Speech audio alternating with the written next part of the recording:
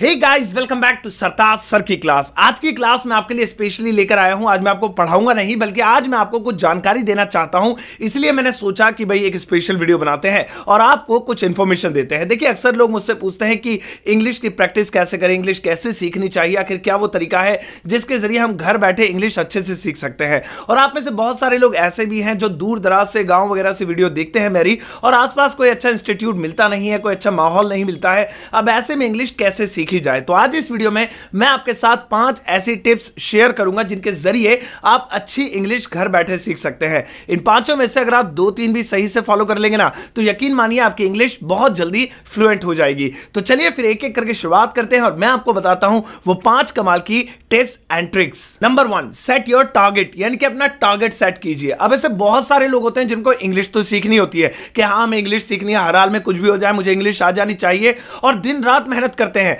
लेकिन सफलता नहीं मिलती है। वजह क्या है कि उन्होंने टारगेट सेट ही नहीं किया है। आपको सबसे पहले यह जान लेना है कि इंग्लिश भी अलग अलग तरह की होती है अलग अलग वजहों से। आपकी वजह क्या है? आप किस वजह से अंग्रेज़ी सीखना चाहते हैं? सबसे पहले यह डिसाइड कीजिए कि आप किस लिए इंग्लिश सीखना चाहते हैं। आप किसी को इंग्लिश सीखनी है सिर्फ़ बातचीत करने के लिए। किसी को फॉरेन कंट्री जाना है, किसी को आईलेट का एग्ज़ाम क्रैक करना है, किसी को कॉम्पिटेटिव एग्ज़ाम देना है, यानी कि एस एसएससी यूपीएससी जैसे कॉम्पिटेटिव लेवल की तैयारी कर रहे हैं, उसके लिए इंग्लिश सीखनी है। भाई साहब, ये सभी तरीके की इंग्लिश एक जैसी नहीं होती है अलग अलग होती है। अब देखिए, आप अगर कॉम्पिटेटिव लेवल की इंग्लिश सीखना चाहते हैं तो सिर्फ़ आपको ग्रामर की ज़रूरत होगी। ग्रामर के अलावा आपको कुछ भी नहीं सीखना है। अगर आप बातचीत सीखना चाहते हैं तो आपको डेली यूज़ फ्रेजेस सीखने चाहिए। अगर आपको विदेश जाना है तो आपको ऑफिशियल तरह के थोड़ी हार्ड वोकेबलरी की ज़रूरत होगी। तो ये टारगेट होता है। बस हमें पता नहीं होता है कि इंग्लिश किस लिए सीखनी हमें लगता है सारी इंग्लिश एक होती है, शुरुआत कर दो। नहीं।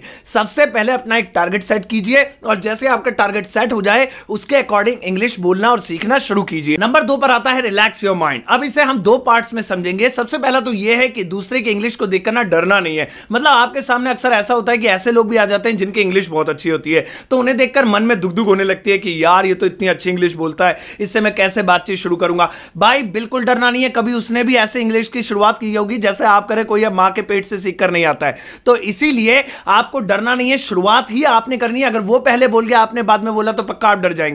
तो इसीलिए शुरुआत आप कीजिए। और दूसरी चीज़, वो तो भैया मैं भी करता हूँ, और वो ये कि अपने माइंड को रिलैक्स रखने के लिए और अपना कंसंट्रेट इंक्रीज करने के लिए मैं रोज दो मिनट नवरत्न ऑयल से चंपी करता हूँ। दोस्तों, जब भी मुझे माइंड रिलैक्स और स्ट्रेस फ्री होना होता है ना तो मैं सिर्फ़ और सिर्फ़ नवरत्न ऑयल ही यूज़ करता हूँ। अभी रिसेंटली मैंने अमेजोन पर नवरत्न का गोल्ड ऑयल देखा और इसे फॉरन ऑर्डर कर दिया और इसे यूज़ भी किया। ये ऑयल एकदम नॉन स्टिकी है और अगर इसकी खुशबू की बात करें तो एकदम प्लेजेंट फ्रेग्रेंस है इसकी। इससे चंपी करके माइंड को सिर्फ़ दो मिनट में रिलीफ मिल जाता है, क्योंकि इसमें है नो आयुर्वेदिक हर्ब्स और एक चीज़ तो मैंने खुद ही नोटिस की है कि इसे इस्तेमाल करने के बाद स्टडी में कंसंट्रेट करने में बहुत हेल्प मिलती है। अब आपको चाहे कैसी भी टेंशन हो एग्ज़ाम की टेंशन है सिलेबस की टेंशन है परफॉर्मेंस की टेंशन है, हर एक टेंशन से तुरंत राहत मिलती है और सिरदर्द में तो फ़ौरन आराम मिल जाता है। तो इसलिए आप भी इसे यूज़ कीजिए। लिंक वीडियो के डिस्क्रिप्शन बॉक्स में दे रहा हूँ। जाइए इसे बाय कीजिए और इसे यूज़ कीजिए। नंबर तीन make your friend circle for speaking यानी कि स्पीकिंग के लिए अपना एक फ्रेंड सर्कल बनाइए। देखिए, आजकल दोस्त बनाना मुश्किल नहीं है। सोशल मीडिया हमारे पास है, हम आसानी से फ्रेंड्स बना सकते हैं। अब आपने करना क्या है कि एम फालतू में किसी को दोस्त नहीं बनाना है,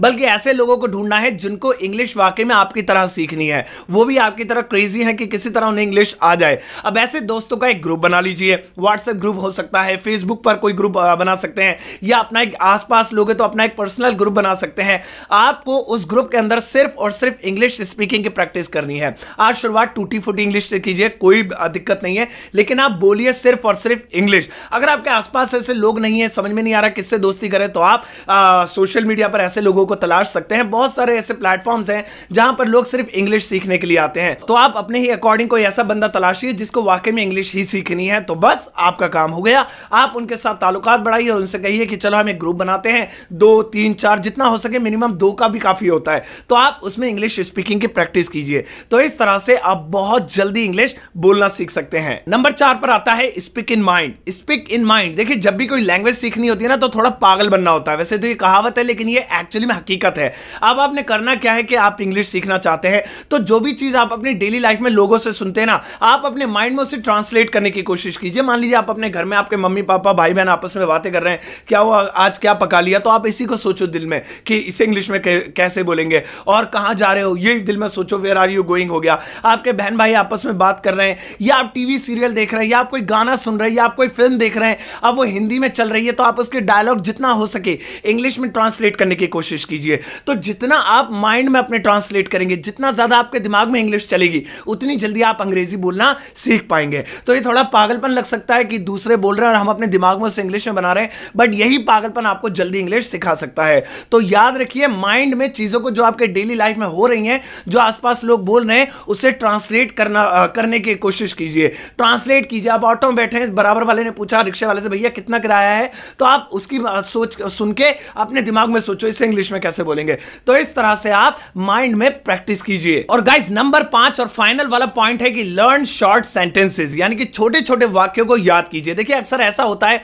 कि हम ग्रामर के पीछे लग जाते हैं टेंसेज एक्टिव पैसिव मॉडल ये चीज़ें काम तो आती हैं, लेकिन अगर आप कम समय में अंग्रेज़ी बोलना सीखना चाहते हैं तो आपको छोटे छोटे वाक्यों को याद करना पड़ेगा। आप इसकी चार्ट इंटरनेट से डाउनलोड कर सकते हैं। हज़ारों वीडियोस पड़ी हुई यूट्यूब पर इवन मैंने भी डेली यूज़ सेंटेंसेस की वीडियोस बनाई हुई हैं। आप उन्हें याद कीजिए, इधर आओ कम हियर बैठ जाओ सिट डाउन खाने में क्या बनाया? What did you cook in the dinner कहाँ जा रहे हो? वेयर आर यू गोइंग ये छोटे छोटे डेली यूज़ सेंटेंसेस होते हैं। इनको क्या होता है? इनमें ग्रामर नहीं देखनी होती है। इनको पर रट्टा मारना होता है। तो आप इन्हें याद करिए। आप फाइंड आउट करिए daily use sentences with Hindi meaning आपके सामने ढेर सारे आ जाएँगे। आप उनके चार्ट बनाइए, अपनी नोटबुक में कॉपी कीजिए और ज़्यादा से ज़्यादा उन्हें नोट कीजिए। जितना ज़्यादा आप उन्हें नोट करेंगे, उतना ही ज़्यादा आप प्रैक्टिस करेंगे जितना ज़्यादा आप याद करेंगे उतनी ज़्यादा अच्छी आपकी इंग्लिश हो जाएगी। तो गाइज़ ये थी आज की पाँच टिप्स एंड ट्रिक्स जिसके ज़रिए आप बड़ी आसानी से घर बैठे इंग्लिश सीख सकते हैं। अगर आपको ये ट्रिक्स एंड टिप्स अच्छी लगी हो तो प्लीज़ इस वीडियो को सबके साथ शेयर ज़रूर कीजिएगा। और हाँ मेरे चैनल सरताज क्लासेस पर बहुत कमाल कमाल की वीडियोज़ आती हैं,